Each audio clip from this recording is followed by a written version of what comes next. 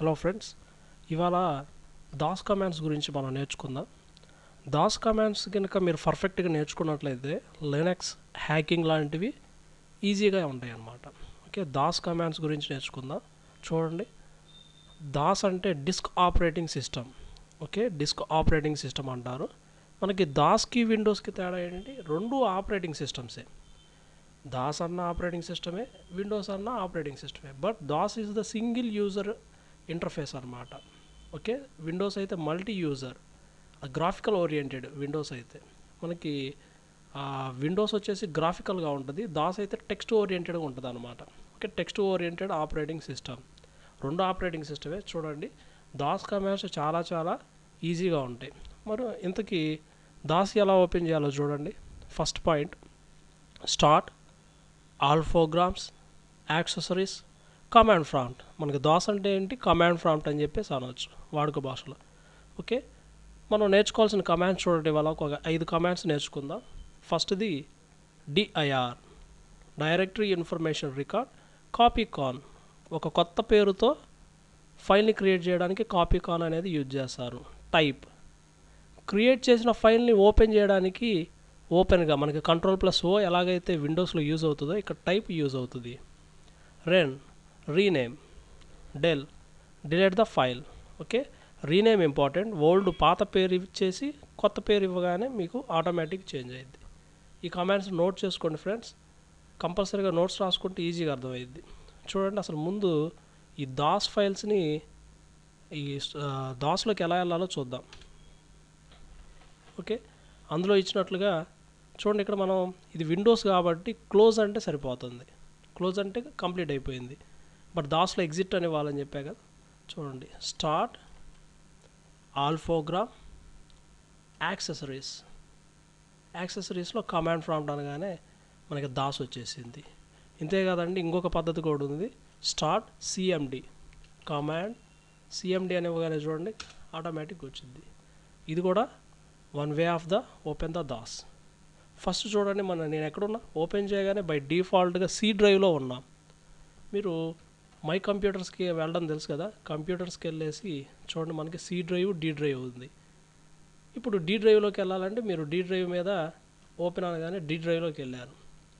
కానీ చూడండి ఇప్పుడు మరి దాస్లో ఏం చేస్తామంటే డి డ్రైవ్లోకి వెళ్ళాలంటే అలా మరి బై డిఫాల్ట్గా సి డ్రైవ్లో ఉన్నాం. డి డ్రైవ్లోకి వెళ్ళాలంటే డి కోలన్ ఓకే? రెండు చుక్కలు వస్తాయి ఓకే? డి కోలన్ ఎంటర్ అనగానే మనం డి డ్రైవ్లోకి వెళ్ళిపోయాం.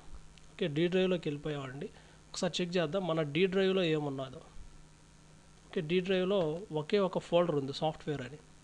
మరి ఫస్ట్ కామెంట్ చెప్పా కదా డిఐఆర్ డిఐఆర్ అని ఎంటర్ చేయగానే చూసారా ఆ డి డ్రైవ్లో మనకి ఇక్కడ ఏంది? ఫోల్డర్ అని డిస్ప్లే అవుతుంది. బట్ ఇక్కడ చూడవచ్చు మీరు. ఏముంది ఇక్కడ? సాఫ్ట్వేర్ అని చెప్పేసి చూపిస్తుంది. ఫోల్డర్లో మనకి ఎన్ని ఫోల్డర్స్ ఉన్నాయి ఇక్కడ? ఇదేమో మనకి వర్చువల్గా చూపిస్తుంది. ఇదేమో కమాండ్ ఓరియంటెడ్గా చూపిస్తుంది. సాఫ్ట్వేర్ అని చూపించింది. సరే మరి డిఐఆర్ అంటే అర్థమైంది కదా? Disk information record. Disk information record అంటాం కాబట్టి మొత్తం చూపించింది. మన ఫస్ట్ కమాండ్ ఏంటంటే copy con. C O P Y copy space con. ఈ కమాండ్ ఏం చేస్తుందంటే ఒక కొత్త ఫైల్ని క్రియేట్ చేసిద్ది. చూడొచ్చు మీరు. ఇటు పక్క వచ్చేసి దాస్ దాస్ వచ్చేసేమో టెక్స్టువల్ టెక్స్ట్ ఓరియంటెడ్. ఇటు వచ్చేసి గ్రాఫిక్ ఓరియంటెడ్. చూద్దాం ఒకసారి. కాపీ కాన్ అనేది క్రియేట్ చేస్తున్నా. Copy space con space file name ఏదో ఒక పేరు రాజు. ఇచ్చేసి ఎంటర్ ఇవ్వండి. ఎంటర్ ఇవ్వగానే చూడండి మనకు ఆటోమేటిక్గా ఇక్కడ ఒక్కొక్క రాద్దాం ఏదో ఒకటి. Hi hi this is Raju this is Raju అని చెప్పేసి రాసేసి చూడండి. F six press the F six తెలుసుగా? ఫంక్షన్కి అంటారు ఎఫ్ సిక్స్ ఇచ్చేసి ఎంటర్ ఇవ్వగానే చూడొచ్చు మీకు. ఇటు సైడ్ ఆటోమేటిక్గా క్రియేట్ అయ్యింది దాస్ అయినా విండోస్ అయినా ఒకటే సిస్టంలో ఉంది కాబట్టి దాస్లో క్రియేట్ చేస్తే విండోస్లోకి రావాల్సిందే. విండోస్లో క్రియేట్ చేసిన దాస్లో కంపల్సరీగా అప్డేట్ అవ్వాల్సిందే ఏదైనా. చూద్దాం ఇక్కడ.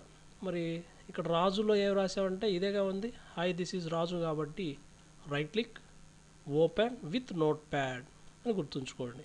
ఓపెన్ విత్ నోట్ ప్యాడ్ అనగా హాయ్ దిస్ ఈజ్ రాజు. ఒకసారి ఇక్కడ కూడా అప్డేట్ చేద్దాం.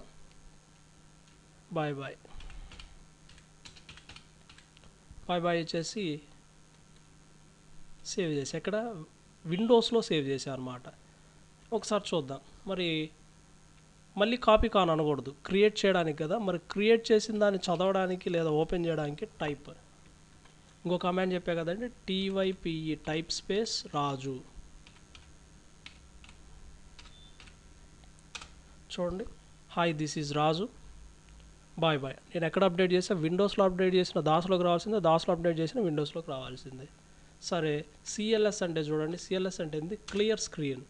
ఇది స్క్రీన్ అంతా కూడా డిస్టర్బెన్స్ ఉంది కాబట్టి క్లియర్ చేసేసా. Next T Y P type space Raju. అంటే ఏమైంది చెప్పండి? మీరు ఎప్పుడైనా సరే ఆ అందు రాజు అనే ఫైల్లో ఉన్న ఇన్ఫర్మేషన్ చదవాలంటే టైప్ స్పేస్ రాజు అనే కమాండ్ యూజ్ చేసుకోవచ్చు. Hi this is Raju. Bye bye అని చెప్పేసి వచ్చేసింది. మరి పేరు మార్చాలంటే ఇప్పుడున్న ఫైల్ పేరు ఏంటి మనకి ఇక్కడ రాజు.